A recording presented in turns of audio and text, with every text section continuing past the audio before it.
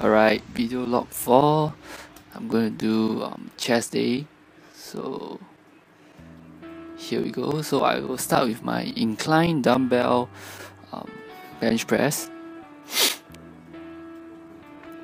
So I'm trying to spot my um, why my my upper chest is not really that developed. So after videoing down, um, as you can see over here, I'm not really um, hitting the upper chest. Okay this video will be clearer over here so I'm actually going forward. I should um, hit slightly backwards instead and uh, this will really target the upper chest area which um, I think a lot of people is lacking because we are doing it straight up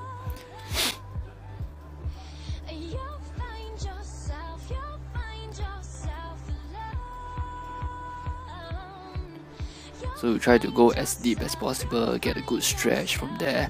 After that um, we'll press it up. So now flat. Flat bench press okay so you can see I try to lift up my neck. This may not be a very good posture for everyone but it gives me a better better stretch over there. And um, try to focus on uh, moving your bi biceps inwards to your chest when you are doing this bench press. It really help the contraction. And now here is the dips. Okay. You might find that I'm not doing a, really a full range of motion but because I'm not trying to hit my tricep over here I'm trying to hit my chest. So it's a minimum movement uh, purely on the chest and to failure. Alright now this is a flat bench press of the Smith machine.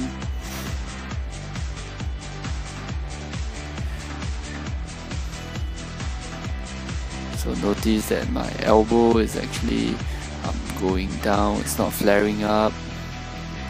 And this is our um, director of Nutrifirst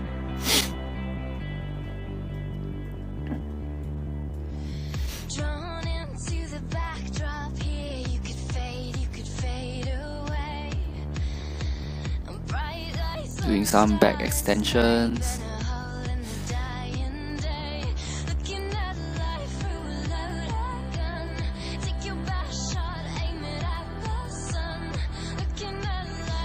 Alright now flies. I like to go deep. Uh, try to stretch my chest fully when I'm down. Um, open up wide and uh, just get full stretch and after that contract back together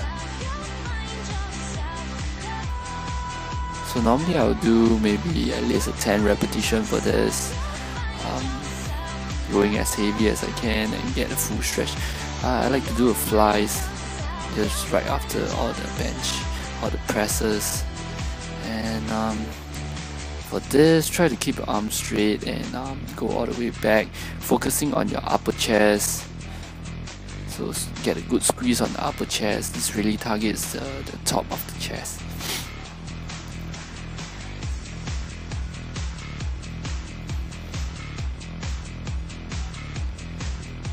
Lastly, pec deck flies.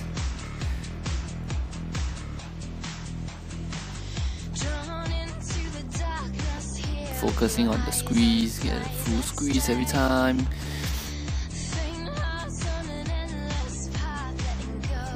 And um, I always like to end off my workout with uh, probably a hundred repetition abs exercise. So maybe five sets of 20 so today I want to do this.